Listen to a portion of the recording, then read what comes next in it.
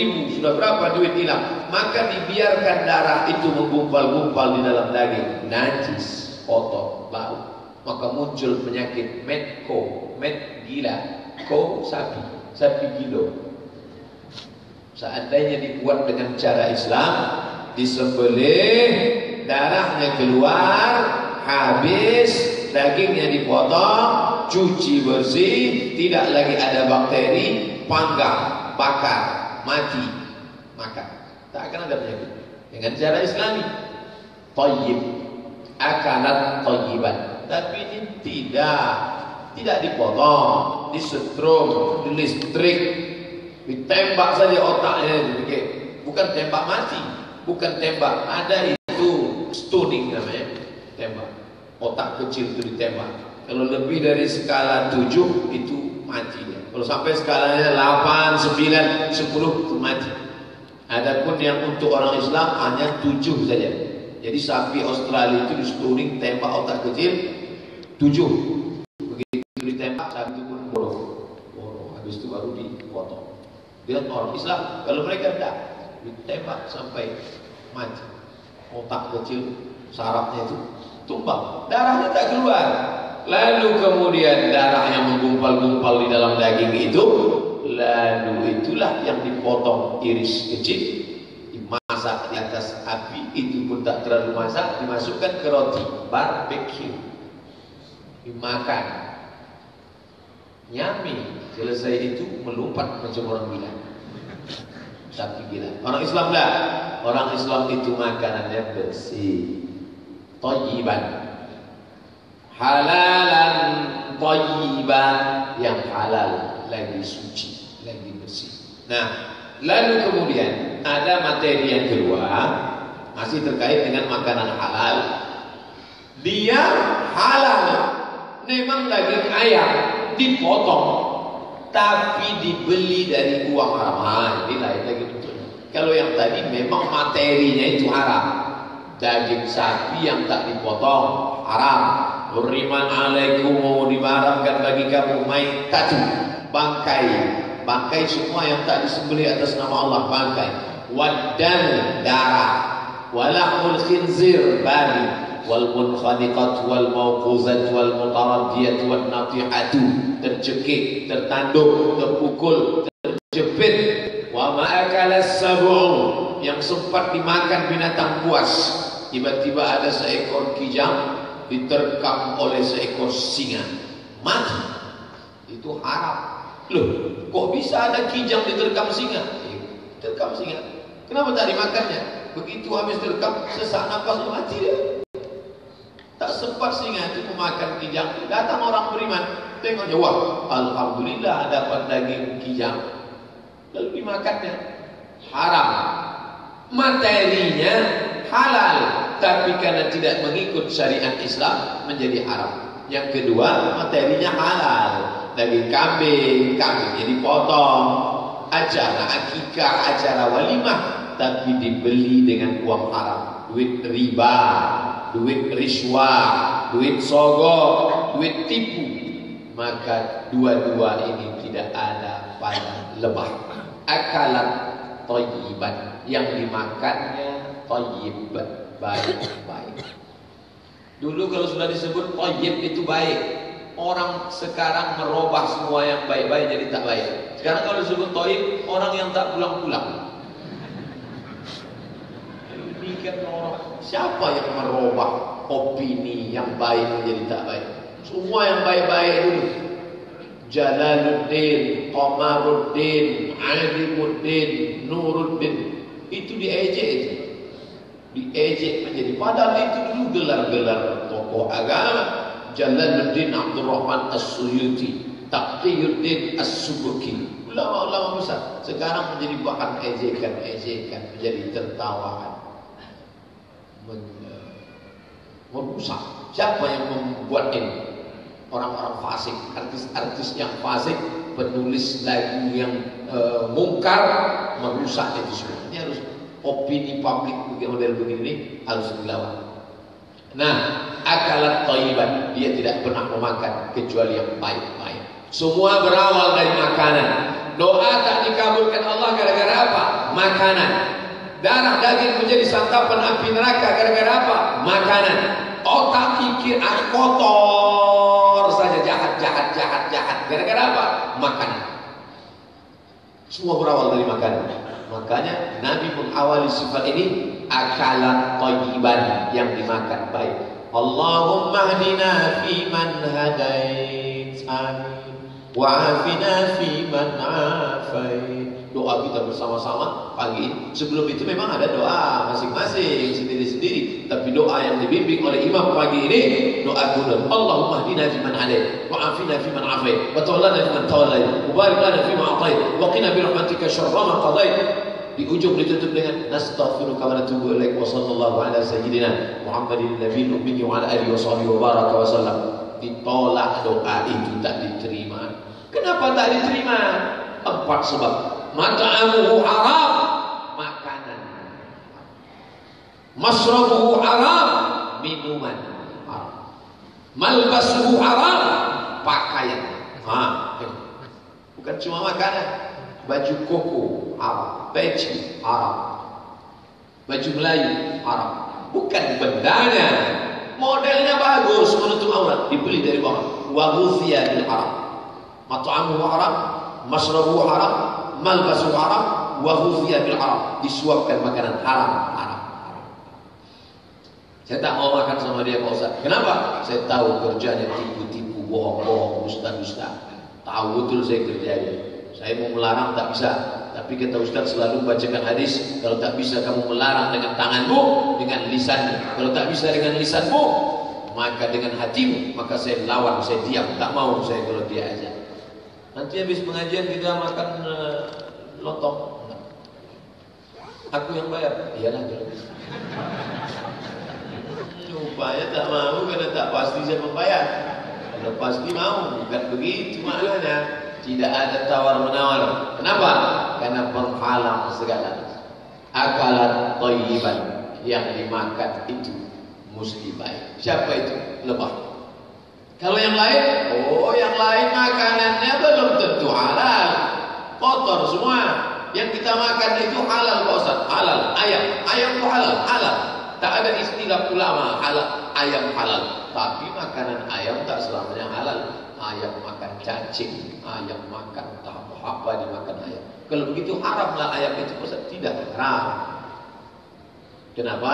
Karena setelah masuk ke badannya berubah dan tidak semua yang dimakannya itu haram. Dia makan beras, lele, makan pelet, ternak ikan, mujair segala macam ada makanan. Yang tak boleh itu adalah kalau binatang itu memang makanannya tidak ada lain kecuali haram. Walaupun dia halal. Contoh kambing.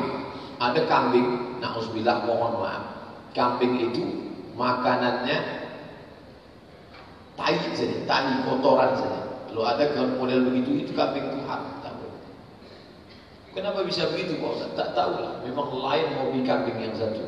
Kotoran saja dimakan. Tidak betul.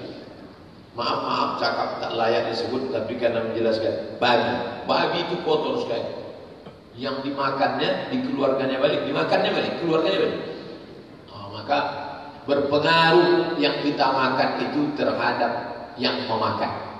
Tadi kalau ada orang main suruh, wah itu mungkin banyak akan babi. Walaupun tidak babi langsung, penyedap rasa dari babi. Makan roti pakai lemak babi. Maka itu semua babi. Berpengaruh kepada perilaku, kepada sifat.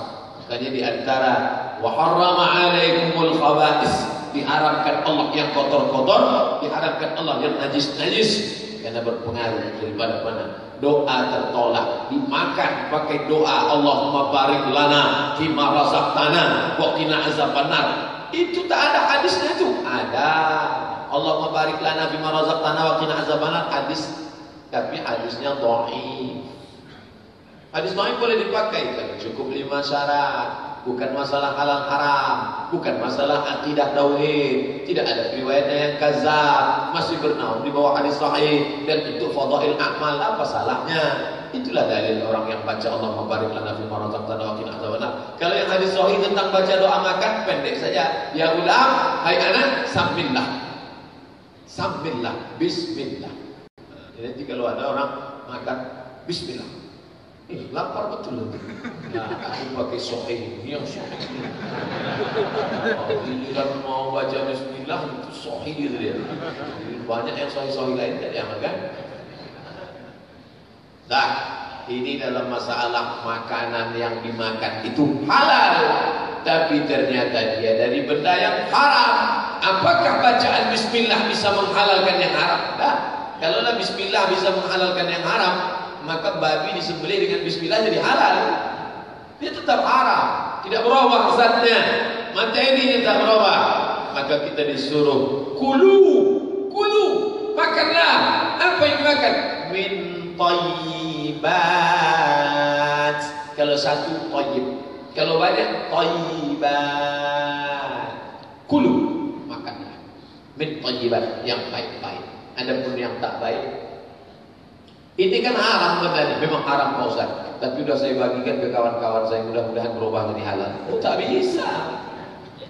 Wa anfiqu berbagilah, wa anfiqu berinfaklah, wa anfiqu bersedekahlah.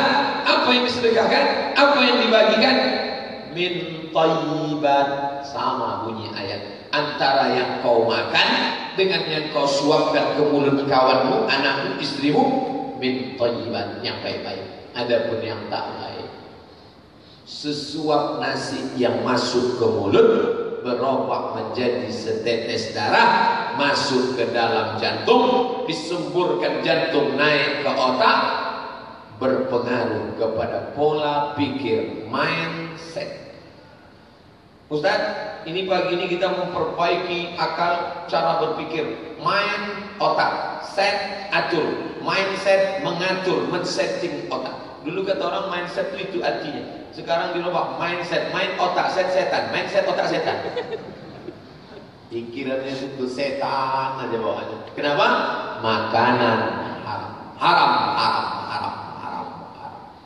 Dimakan masuk ke dalam mulut, berubah menjadi darah, darah menjadi daging, daging membalut tulang, dibawa salat Allahu Akbar, dibawa tawaf sa'i, sofa marwah, ta'allul wukuf di padang Arafah. Ayyuma lahmin setiap daging nabata min aramin tumbuh dari yang haram. Fannaru aulabih tempatnya api neraka berawal dari makanan. Nabi itu diberi satu jurus utama. Apa dia? Uti tu jawami'ul kalim. Aku diberi mukjizat jawami' al-kalim. Jawami' kompleks, universal, lengkap. Kalim kalimat. Kalimatnya pendek tapi maknanya dalam. Itu, nah, itu tidak ada pada orang lain. Itu mukjizat Nabi Muhammad. Karena dia ngomong bukan dari akal, bukan dari hati, tapi dari wahyu wa mengikuti hawa nafsu dari Allah SWT maka omongan dia pendek saja. Maka kalau kita kaji hadis setiap satu subuh satu hadis kenapa penjelasannya? Karena memang Nabi diberi jawami'ul kalim. Perumpamaan orang beriman kama salin nahlati seperti seekor lebah akalan tayyiban yang dimakan baik-baik saja Alhamdulillah Pak Ustaz, saya selama ini sudah mencari yang halal, mengasihi anak istri yang baik, memberikan kepada tetangga, sahabat, kerabat, anak yatim yang baik. Bagus. Berarti kita sudah seperti yang diumpamakan Nabi. Nahlati seekor lebah, akalat tayyiban yang dimakan baik-baik. Yang kedua, yang kedua kata Nabi sallallahu alaihi wasallam, wa wada'a. Yang keluar Ah, ini kita susah. Kalau lebah itu yang keluarnya air. Apa yang keluar? Syarabum mukhtalifun alwanuh. Disebut dalam Al-Quran. Buka surat An-Nahl. Syarabun minuman. Mukhtalifun bermacam-macam. Warnanya. Ada madu warna kuning. Ada warna madu kuning kemerahan, ada madu warna coklat, ada madu hitam. Allah sudah sebutkan itu dalam Al-Quran. Mukhtalifun syarabun, mukhtalifun alwan. Minuman yang bermacam ragam. Akalan tayyiban yang dimakannya baik, baik, baik, baik. Yang kedua, wa tayyiban yang keluar pun jadi kalau orang beriman itu makannya baik enak lezat kalau nengok dia makan saking nikmatnya nengok dia makan. Dia yang makan kita pula yang kenyang. Hebat nih Pak tapi setelah makan itu yang keluar tak baik-baik. Yang dimakannya ayam yang keluar tak layak kita sebutkan. Jadi sebenarnya lama orang sudah datang pop pop pop pop pop pop pop pop pop pop keluar semua ayam, itik, bebek, kala jengking semua keluar. Maka ini bukan orang beriman. Karena Nabi Shallallahu Alaihi Wasallam mengatakan perumpamaan orang beriman itu adalah seperti lebah yang masuk baik. Nah sekarang Mungkin selama ini kita yang satu tadi oke okay, dapat, tapi yang dua ini wa wada'at thayyiban yang keluar baik. Cakap baik, ulah baik, PL perbuatan baik. Sekarang kenapa perbuatan tak baik? Gara-gara makan tak baik. Semua makanan yang haram akan mengajak kepada perbuatan haram. Paling tidak syubhat Faman ittaqas syubhat siapa yang meninggalkan diri dari yang syubhat yang samar-samar, yang tak jelas, yang abu-abu, faqad istabra'a li dinihi wa 'irdihi. Dia sudah menyelamatkan agamanya dan kehormatan dirinya di hadapan Allah Subhanahu wa taala. Renungkanlah subuh ini sebenarnya kita sedang merenung sejenak. Abdul Somad sedang merenungkan dirinya. Hai Abdul Somad, sudahkah yang masuk selama yang baik-baik? Alhamdulillah akalat tayyiban. Yang kedua, wa wada'at tayyiban. Sudahyakah yang keluar itu baik-baik? Kalau tidak, malu kita kepada seekor lebah. Makhluk Allah yang hina, rendah, kecil, tak ada apa-apa. Tidak diberi Allah akal, tidak ada kuasa, tidak seperti kita yang sempurna. Laqad khalaqnal insan kana fi ahsani taqwim. Sempurna begitu sempurna tiba-tiba lebah makhluk yang kecil tak pernah dipandang tapi Nabi katakan hati-hati kalian lebah itu memang makhluk yang sepele remeh temeh bukan apa-apa bukan siapa-siapa tapi dia akalat tayyiban yang dimakannya baik wa wada'at tayyiban yang keluar baik-baik sampai hari ini orang berebut-rebut mencari yang keluar dari badan dari perut lebah. Padahal lebah makhluk tak mulia. Belum pernah saya sampai hari ini orang berebut-rebut mencari yang keluar dari badan presiden. Yang keluar dari badan ulama, yang keluar dari badan tak ada dicari orang. Ini berebut cari. Ini asli apa tidak? Manusia. Ini asli tak yang keluar dari ini? Mau saya beli ini. Belum pernah lihat. Makin asli makin orang tak suka. Tapi yang dari lebah makin asli, makin berkualitas, makin mantap. Beli madu sama Ustaz. Kenapa? Dia itu langsung dari oh lebah madu pokok dari kayu tualang ini langsung diambil. Oh hebat. Lebahnya asli, madunya asli, tidak bercampur. Ini asli ini Pak. Mana bukti asli? Tengok. Sarangnya aja masih ada. Sarangnya asli, madunya tidak. Masalahnya gara-gara sarangnya ada dia bilang asli. Jangan beli lagi Pak, kata kawannya yang kebetulan kenal sama kita dekat itu. Kenapa? Gula merah itu. Tapi ada sarangnya. Apa lepas yang ngambil sarang letakkan situ. Madunya asli, sarangnya asli. Cara mengambilnya. Jahat. Tak juga bisa diterima. Datanglah investor maju. Bisnis ekspor impor dari Malaysia. Karena kata dia murah maju di sebuah negara daerah ini kami mau ambil maju. Dia tengok cara bagaimana orang Islam di sini ngambil maju. Rupanya sebelum maju tadi diambil dibaca mantra-mantra bisa orang meniti uh, dahan yang kecil madu, sarang madu di ujung bisa berjalan tak pakai tali. Ah, bisnis putus tak jadi. Orang Malaysia yang mau beli madu jadi tak mau. Kenapa? Karena ini pakai hantu kata dia. Tak mau dia. Walaupun murah. Dia tiap pagi, tiap matang berdoa wa barakatan fir rizqi. Allahumma barik lana fi abwalina wa barik lana fi ma a'taitana. Berikan berkah pada rezeki kami. Ditengoknya pakai-pakai mantra, pakai-pakai jin, pakai-pakai hantu, pakai setan. Mohon maaf, kami tak jadi ambil madu. Murah nih, walaupun murah, tak ada barokah. Baik yang dimuliakan Allah Subhanahu wa taala. Wa waqa'a thayyiban yang keluar itu baik-baik. Apa yang keluar dari lebah? Madu yang keluar dari manusia. Kotoran tetaplah kotoran. Takkan mungkin pula gara-gara ini kita balik dari sini keluar maju. Dah. Cakap tu baik. Cakap baik. Qaulun ma'rufun. Cakap yang baik. Wa ma'firatun. Pemberian maaf. Khairun. Min sadaqatin daripada sodakoh. Yasba'uha adhan. Daripada sedekah yang diiringi perbuatan yang menyakiti hati orang lain. Nyekolahkan anak yatim rajin, mengambil anak orang susah. Bukan main semangat, tapi kalau sudah cakap, oh, weh anak yatim sini. Oh, kalau bukan karena aku yang menyekolahkan sudah jadi gembel dengan merah. Sakit hati dia. Jadi kalau gitu Pak Ustaz, lebih baik cakap kita lembut. Alhamdulillah Pak Ustaz, saya selama ini cakap lembut. Nganyek ngasih sedekah memang tak pernah. Yang bagus itu adalah cakap lembut, sedekah banyak. Yang paling tak baik adalah sudahlah sedekah tak mau, cakap pula kasar. Bukan memberi. Kalau kita tak sanggup memberi, lampaikan kita.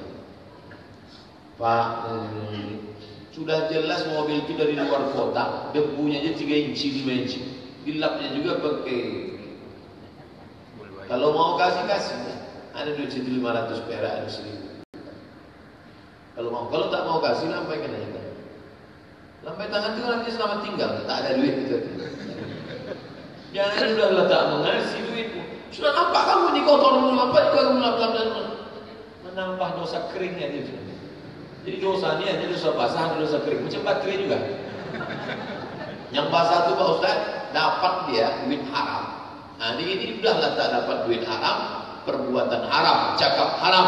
Makanya kata Nabi SAW, La tubtilu sadaqatikum. Jangan kau batalkan perbuatan baik bil manni wal adha. Ungkap, bangkit, bangkit, ungkap, ungkap. Wal adha. Menyakiti hati orang lain. Caci maki, sumpah serapah. Hamun mengamun, hamun mengamun. Bagi yang mendengarkan streaming jauh bingung bahasa apa, cari di Google terjemah.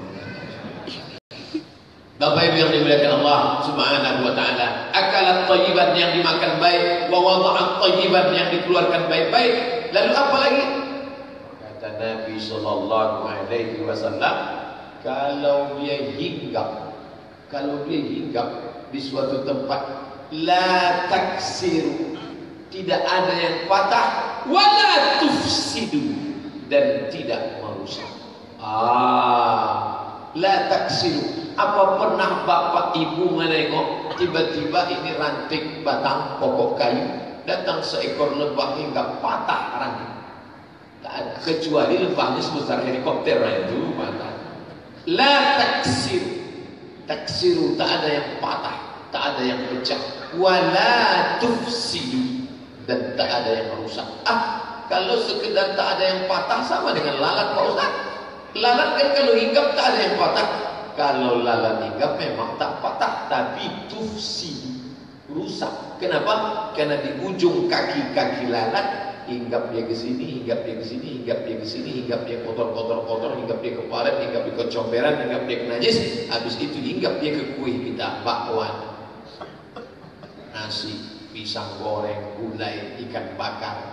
Berapa kali bapak ibu melihat ayam di rumah makan, begitu dibuka tengok ulat. Dari mana ulat datang? Dari ujung kaki lalat yang membawa bakteri, bahkan bertelur di situ. Enak betul ayam panggang di bawah. Belum pernah saya makan macam ini. Iyalah ada ulatnya sekalian. Siapa buat? Tuksidu, manusia. Sedangkan lebah kata Nabi sallallahu alaihi wasallam la taksiru. Ia tidak merusak. Wala tufsidu. Wala taksir. Wala taksir. Tidak merusak. Wala tufsidu. Tidak ada yang patah. Tidak ada merusak. Apa maknanya? Orang Islam tak pernah mengganggu. Cari dalam sejarah ada orang Islam mengganggu, tak ada. Anti Islam di Eropa, anti Islam di Amerika, anti Islam di Jerman. Mereka mengamuk. Pernah tak kita mendengar anti Cina? Tak ada. Anti Kristen, tak ada. Orang Islam anti penistaan agama. Fokus tidak generalisir berapa orang datang dari mulai ribuan sampai jutaan kemarin ada yang menulis katanya 5 juta wallahu a'lam bishawab tapi yang jelas orang Islam tidak pernah mengganggu. Tapi kalau dia diganggu pas macam lebah. Kalau dia diganggu dia akan datang membalas. Dan kalau dia membalas tak tanggung-tanggung. Kalau tak percaya dengan hadis ini balik dari sini cari sarang lebah lempar pakai baju. Coba, nah, insya Allah Bapak akan dikejarnya. Sampai ke mana? Sampai masuk ke Sungai Siak, dia tunggu di atas. Begitu kepala muncul, langsung balik ke situ pendel-pendel. Kenapa begitu? Masadul mukmin perumpamaan orang beriman seperti lebah yang dimakan baik, yang keluar baik, kalau dia hinggap tidak ada yang patah, tidak ada yang rusak. Begitu dalam hadis ini. Adapun dalam ayat Al-Quran bagaimana? Maka dalam Al-Quran itu jelas apa kata Nabi sallallahu alaihi apa kata Allah Subhanahu wa taala wa auha rabbuka ila nahli Allah taala mengirimkan ilham signal pesan kepada makhluk bernama nahli anittakhidhi buyutan buatlah buyut rumah ah ditambahan dari hadis ini hadis tadi sudah tiga kita kaji makanannya baik, yang dikeluarkannya baik. Kalau dia hinggap tidak ada ranting yang patah, tidak ada makanan yang rusak, beda dengan lalat. Sedangkan yang keempat, ini dari kita ambil dari Al-Quran, apa dia? Ini tahizi buyutan, dia punya rumah. Beda sama lalat, lalat tak punya rumah. Kalau lebah jelasnya rumah. Ada rumah. Kemanapun lebah pergi mencari nektar manisan dari tanaman bunga buah Nanti dia akan balik ke rumahnya Dan rumah lebah itu Masya Allah Dia tidak bulat, dia tidak petak Tapi disusun dengan susunan yang begitu indah Simetris. Para sarjana insinyur arsitektur Itu paham betul bagaimana keindahan. Tidak ada tempel Tak ada rumah itu yang kacau balau. Begitu indah diwahyukan Allah Subhanahu wa taala. Dan dia tahu jalan pulang. Ah belum pernah sampai sekarang itu lebah nyasar dan jadi kalau ada orang tak pulang-pulang tak tahu dia jalan pulang itu lebih parah daripada lebah lebah tahu dia jalan pulang. Fasluki subula rabbiki. Jalan yang sudah dijalankan oleh Tuhan. Subul jalan. Setelah mereka teliti. Yang meneliti ini anehnya bukan pula orang Islam tapi orang Barat. Mereka teliti satu lebah menyebar ratusan ribu lebah menyebar nanti mereka bisa jalan ambil dapat makanan pulang lagi ke tempat aslinya dan dia punya tempat yang layak yang hebat yang bagus luar biasa keempat kelima apa dia? Lebah yang paling bagus pengaturannya. Ada lebah induk, ratu lebah. Ini dia tak ada kerja. Ratu lebah tak pernah meninggalkan sarang. Tak pernah ratu lebah pergi. Tiba-tiba lebah pada bingung. Mana ratu sedang pergi? Ada lebah khusus mencari makan. Mencari makan aja. Ada pasukan tentara lebah yang menjaga dari serangan musuh. Itu hanya ada pada dunia lebah. Maka orang Islam mesti jadi kalau ada bertanya, kamu kenapa tak begini? Kamu tak begini? Kami sudah bagi-bagi kerja. Si Anu kerjanya ini, si ini kerjanya ini, si ini kerjanya ini. Ini yang disebut dengan job description, pembagian tugas kerja. Orang Islam bekerja, berbuat, tapi ada pembagian yang jelas, yang matang, yang mantap, manajemen. Oke. Okay. Keenam, apa dia? Lebah kalau sudah menyengat, dia akan mati. Kenapa? Tak seperti cicak. Cicak lepas ekornya akan tumbuh lagi dan dia akan hidup. Tapi lebah kalau sudah dia menyengat, lepas sengatannya itu di kulit orang, setelah itu dia akan mati. Dan dia tahu itu hanya dipakainya sekali seumur hidup ketika terjebak, ketika tergesa, ketika tak ada alternatif lain. Dia mengganggu tak mau. Tapi kalau dia diganggu, ini alat pemungkas akan dia pakai dan sekali dia sengat, orang akan tersengat. Setelah itu dia pun akan mati. Orang Islam juga begitu. Nyawa ini dipinjamkan Allah, tapi jangan kalian pakai mengganggu. Kalau kalian ganggu kami, kami akan pakai nyawa ini untuk menghabisi nyawamu dan setelah itu kalian akan mati. Saudara-saudara yang perpisahan beberapa hari ini belum dilepas keluarganya karena ingin mati syahid. Kenapa? Karena kami ingin seperti lebah. Setelah menyengat sekali ini, kami akan mati menghadap Allah Subhanahu wa taala. Karena prinsip orang beriman, ish kariman, hiduplah sempurna, hiduplah senang, hiduplah bahagia karena Allah. Awun syahidan. Kalau kau mati, matinya pun mati syahid. Dan aneh, uniknya sengatan lebah yang katanya bahaya itu pun belakangan ditemukan orang. Sengatan lebah itu obat juga. Makanya ada namanya terapi sengatan lebah. Kawan saya, kakak kelas saya, senior saya, kena penyakit asam urat. Dibawa ke terapi sengatan lebah. Tusukan lebah itu ditangkap, ekor itu pas ke tempat urat-urat tertentu kepada pakarnya jangan balik dari tangkap pasang sendiri jangan kita mesti dalam ila ghairi ahli fantazima'ah kalau diserahkan bukan yang kepada ahlinya babak belum hancur. Nah, ini pak cocoknya di sini. Ter alhamdulillah man sakit asam urat abang agak berkurang sejak terapi lupa. Oh, hebat gimana rasanya bang susah diceritakan dengan kata-kata. Bapak Ibu mau merasakannya cobalah terapi sengatan lemah. Pergi dia ke rumah sakit Zainab rumah sakit ibu dan anak Zainab. Ingat ibu ingat anak ingat Zainab. Tapi untuk orang tua anak-anak tak ada disengat ke lebah itu tak ada. Tip Nabawi pengobatan cara Nabi ada tip Nabawi sengatan lebah. Bapak Ibu yang dimuliakan Allah Subhanahu wa taala apa maknanya? Bahwa orang beriman begitulah dicontohkan Allah Subhanahu wa taala. Makanannya baik, yang keluar itu baik. Kalau dia hinggap tidak ada ranting yang patah dan tidak ada makanan yang rusak tak seperti lalat dan dia punya rumah, dia kembali ke tempatnya. Maka disebut dalam ungkapan bukan hadis Nabi, baiti jannati dan dia punya manajemen yang bagus pembagian kerja tugas. Ketua, sekretaris, bendahara ada ratu lebah, ada tentara lebah ada yang bertugas mencari makan ada pembuat sarang. Dan yang keenam adalah dia punya senjata pemungkas. Kalau sudah dia pakai sekali setelah itu dia akan mati. Tapi kematian yang bermakna dan dia bukan untuk mengganggu tapi untuk menolong saudaranya dirinya, sarangnya, komunitasnya tak boleh diganggu. Kalau ada yang mengganggu, maka dia siap untuk mati.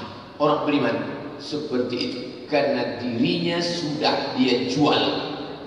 Jual ke mana Pak Ustaz? Jual kepada Allah. Inna Allah asmara Sesungguhnya Allah sudah membeli Minal mu'minin dari orang beriman. Anfusahum wa amwalahum. Orang beriman sudah menjual dua dirinya hartanya sudah dia jual kepada Allah. Dengan apa? Di annalahumul jannah. Bayarannya adalah surga. Abdul Somad dirinya ini sudah dia jual. Abdul Somad hartanya ini sudah dia jual. Dijualnya ke siapa? Kepada Allah. Allah sudah membeli saya tak sadar Pak Ustaz. Ke mana aja selama ini? Allah sudah beli. Allah sudah beli jiwa bapak ibu. Harta bapak ibu itu bukan punya bapak ibu lagi. Itu sudah punya Allah SWT Dibeli dengan apa? Dibeli Allah Ta'ala dengan surga. Barang yang sudah dijual Tak boleh dijual dua kali. Hanya pengkhianat saja yang menjual barangnya dua kali. Pak, saya beli tanah bapak 30 meter kali 30 yang di jalan Anu ya. Ya, begini DP-nya Pak Ya, Begitu sudah DP diterima, seminggu kemudian datang, Pak, mau saya lunasi. Mohon maaf, ambil balik DP. Sudah saya jual ke orang lain, dia beli lebih mahal lagi. Orang akan mengambil. Baru DP-nya saja kita ambil, tak jadi dijual ke dia, kita sudah dituntut pengkhianat. Bahkan dia akan keluarkan sumpah serapah. Datar pengkhianat ente, ente jual lagi kepada yang lebih mahal.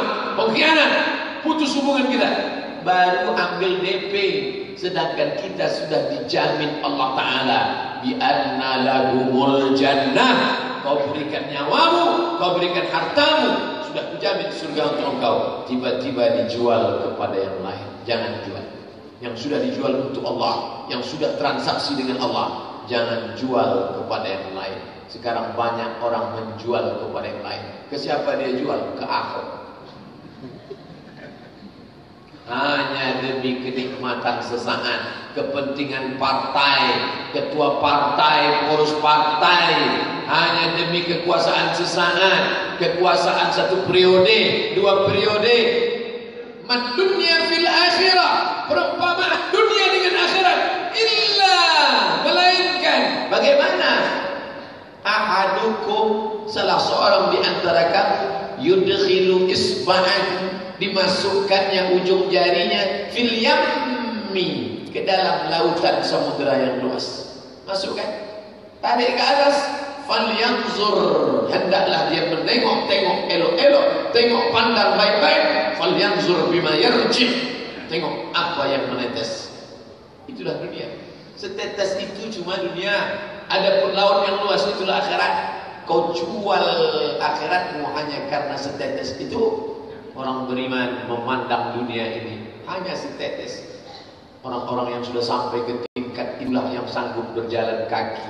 Orang-orang yang sudah sampai ke tingkat itulah yang sanggup mengorbankan hartanya, jiwanya, waktunya, kesempatannya. Kenapa? Man arafat dunia hanat alaih. Siapa yang tahu hakikat dunia, maka ringanlah dunia ini dalam pandangan matanya. Man arafat dunia hanat alaih. Siapa yang tahu hakikat dunia, ringanlah dunia ini dalam hatinya. Tak ada dunia ini menguasai hatinya. Kecil hampa saja dilihat dunia ini. Hidup Alhamdulillah. Mati mati syahid. Kaya Alhamdulillah. Melarat tak jadi masalah. Apa maknanya? Man arafat dunia hanan alaih. Orang yang sadar tahu tentang dunia andai dia dapat dia tak sombong. Karena yang dia dapatkan itu cuma setetes. Andai tak dapat dia tak stres tak depresi. Kenapa? Tak dapat itu pun juga hanya status saja. Akan ada balasan yang lebih besar diberikan Allah Subhanahu wa taala. Masuk waktu syuruk. Kita salat sunat isyraq dua rakaat. Selesai itu kita lanjutkan dengan tanya jawab insyaallah. Terima kasih perhatian Bapak Ibu. Mohon maaf atas segala kesilapan. Subhanakallahumma wa bihamdika asyhadu an la ilaha illa anta astaghfiruka wa atubu ilaik. Wassalamualaikum warahmatullahi wabarakatuh.